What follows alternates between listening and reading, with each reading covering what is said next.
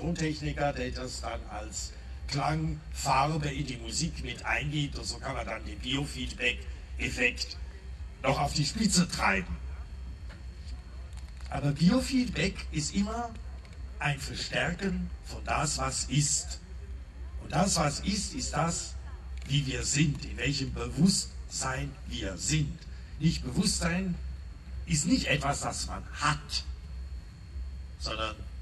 Bewusstsein ist eine Art zu sein, das ist ein Verb. Sein ist ein, ein Verb.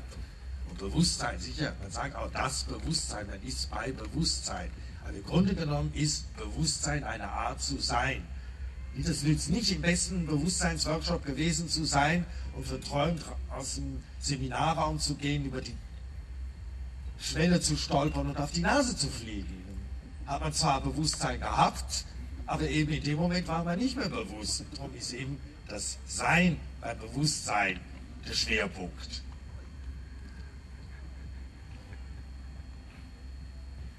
Dieses gemeinsame Bewusstsein entwickeln, das haben verschiedene Kulturen gut integriert. Ich mag vielleicht zwei gegensätzliche darstellen.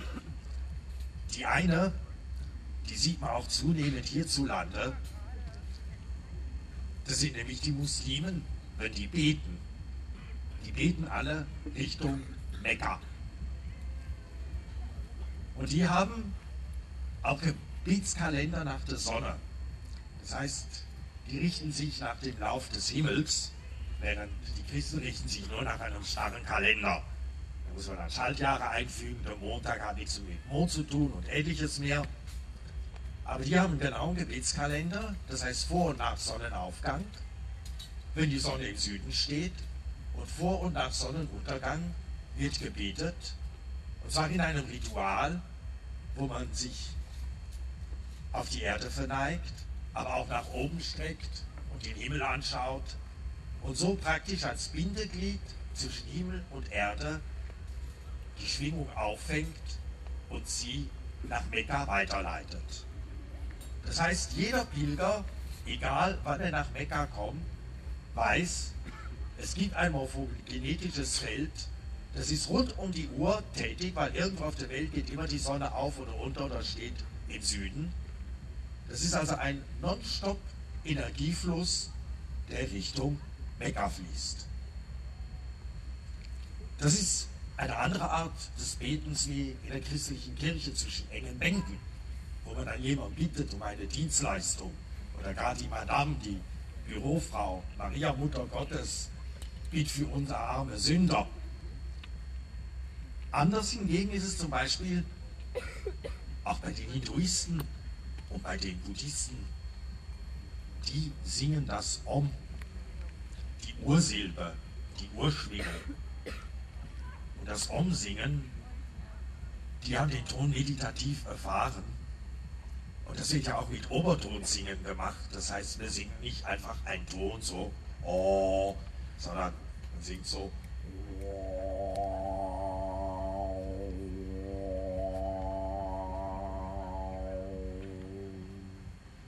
Das heißt, man beginnt im Grunde genommen sein Gehirn zu massieren mit dieser Schwingung durch die Obertöne. Und wenn man sein Gehirn massiert, durch eigenes Singen, dann verstärkt sich die Durchblutung. Und wenn man im Gehirn mehr Durchblutung hat, funktioniert es besser. Dann kriegen wir ein bisschen mehr mit von der Welt. Also das Motiv, umzusingen, kann ein sehr ähnliches sein wie auch das Motiv, psychotrope Substanzen zu nehmen oder irgendwelche andere Meditationen zu machen. Mehr mitkriegen von der Welt. Das eigentlich auch der Unterschied zwischen, sagen wir, einem Durchschnittsbürger und jemand, der bewusst leben will. Mit jemand, der bewusst leben will, der nimmt meistens eine Pille oder sonst was, weil er etwas mehr wahrnehmen will, etwas mehr mitkriegen will von der Welt. Während der Normalbürger, wenn er eine Pille nimmt, der nimmt die, damit er weniger mitkriegt. Gegen Kopfschmerzen, gegen Bauchschmerzen, gegen alle möglichen Schmerzen.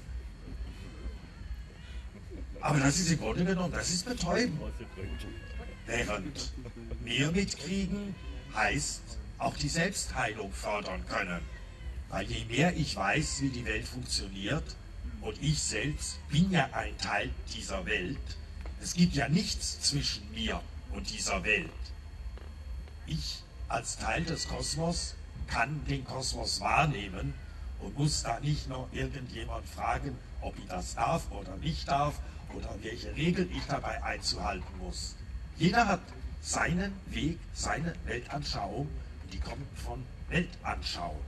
Und das differenzierte Wahrnehmen, das differenzierte Umsetzen, Transponieren von Naturgegebenheiten gibt die Möglichkeit, diese Welt noch etwas intensiver wahrzunehmen und dadurch auch intensiver zu genießen.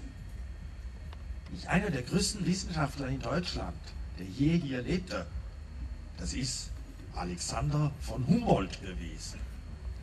Alexander von Humboldt, der hat viel über Geografie geforscht, er hat viel gereist, vor allem in Südamerika.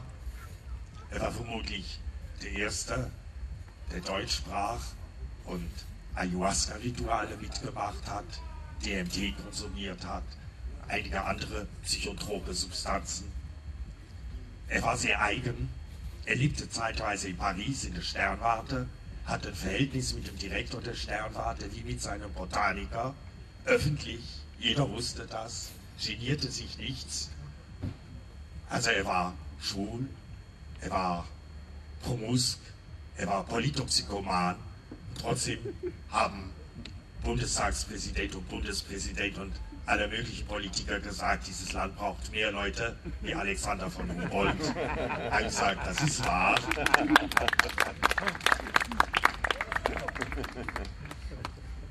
Ja, Alexander von Humboldt, der Grund für ihn zu forschen war der Naturgenuss. Die Natur genießen war für ihn den Antrieb, im Gehrock mit Halbschuhen in Südamerika auf 6000er zu klettern und dann auch alles Mögliche mitnehmen, was er da oben gefunden hat. Aber das Forschen war das Erkennen, wie funktioniert die Natur, wie kommt es, dass ich bestimmte Dinge schön finde und andere Dinge weniger schön finde. Das heißt, wie spiegelt sich die Natur in uns, wie resoniert es in uns und welche Resonanzen empfinden wir als wohltuend und welche Resonanzen empfinden wir eher als störend. Und das muss jeder für sich selbst herausfinden. Das kann kein anderer für einen machen. Also Ratschläge kann ich keine geben. Ich kann nur darauf hinweisen, dass wenn man genauer hinhört, genauer hinschaut, das Weltbild sich erweitert und die Möglichkeiten des Genießens in diesem Leben sich auch erweitern.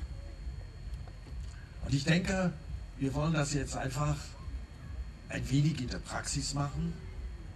Und auf dieser Party war ja Oldschool angesagt, darum habe ich einen ganz alten Track genommen den haben wir vor über 20 Jahren aufgenommen in Köln bei einem Rebirthing Workshop. Das ist also so holotropes Atmen Ende der 80er Jahre letzten Jahrhunderts. Und haben ungefähr 1200 Leute nach dem holotropen Atmen Workshop umgesungen. Und das haben wir dann noch elektronisch ein bisschen bearbeitet. Damals noch alles analog. Zwar schon mit Maus am Bildschirm, aber die Geräte haben noch alle analog funktioniert. Analog heißt immer, es kann ein bisschen ungenauer sein, aber es ist dafür auch runder. Analoge Musik, natürliche Musik, die ist nicht geschnitten. Jede Musik, MP3 oder CD, ist irgendwo abgeschnitten. Das ist, kann man sagen, vor allem MP3 ist eigentlich musikalisches McDonald-Niveau, so Schnellrestaurant-Niveau. Eine alte Vinyl bringt mehr, bringt sogar mehr als eine CD. Jetzt sagt er, aber CD hat bis 22.000 Hertz und eine Vinyl nur bis etwa 16.000. Aber wenn ich eine Schallplatte spiele, habe ich eine Rille und in dieser Rille liegt ein Diamant oder ein Saphir und der schwingt mechanisch. Und wenn er jetzt 14 Kilohertz mitkriegt durch die Rille, schwingt er automatisch auch noch bei 28 Kilohertz, nämlich den Oktavton, das Dreifache, das Vierfache. Das heißt, die natürlichen Obertöne werden als Schwingungsvorgang bei einer Vinyl übertragen. Während bei einer CD ist das geschnitten. Mehr als 22 Kilohertz kommt da nicht rüber. Macht es auch einen Unterschied, gerade beim ekstatischen Tanzen, ob die Musik von Vinyl oder von CD kommt.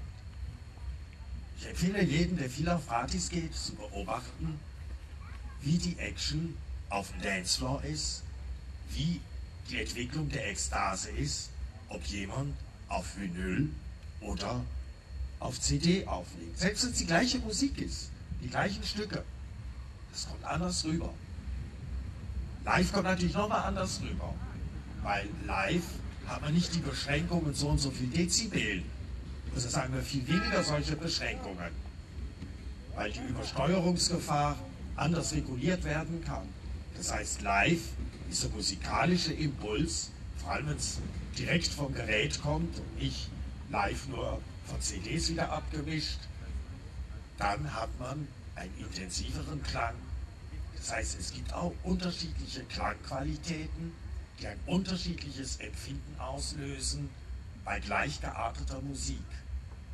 Also wenn man auf einem Festival ist und sich mal dessen bewusst ist und bewusst mal daran geht, dann will man das selber merken. Oder wenn man es nicht merkt, dann kann es auch einem egal sein. Aber es gibt eben einige Leute, die das merken. Und ich denke, zum Abschluss wollen wir jetzt diesen alten Track, dieses Om, uns einfach in Ruhe anhören. Es steht jedem frei, dazu zu summen, dazu zu singen oder auch einfach zu relaxen geht gut 20 Minuten. Und wir wissen, in diesem Ton, dieser Ton, das ist der ewige Ton. Es gibt Tempel, da wird dieser Ton rund um die Uhr gesungen. Da hat es dann keine Sicherung wie hier in den Kirchen, mit den Sicherungskasten, Kirchengeläut, rechte Turmtreppe, linke Turmtreppe und an einer Sicherung steht dann ewiges Licht.